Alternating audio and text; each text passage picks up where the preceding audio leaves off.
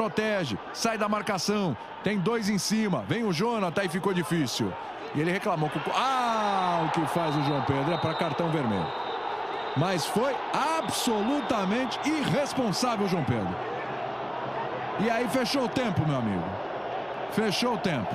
Vamos ver o lance desde a origem. Olha, ih, rapaz, foi encarar. Hum. A equipe do Flamengo tem que sair daí.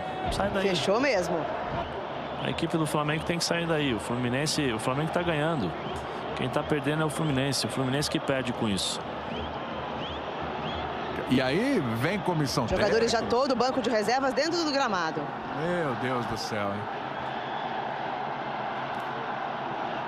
Olha só, o João Pedro tem que ser segurado ali, João. Ficou bravo demais. Foi expulso justamente.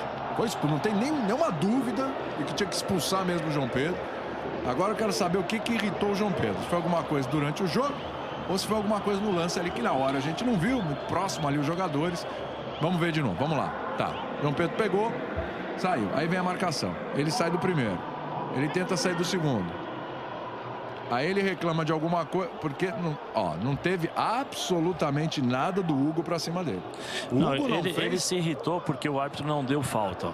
Presta atenção agora. Ele vai achar que foi falta, não foi nada, ele perdeu a bola. E não foi falta, Ele olhou não foi nada. não É. foi falta. Agora olha, olha aí, olha a besteira que ele faz. ó. Se, eu- se eu não me engano, o João Pedro já está vendido para o Watford.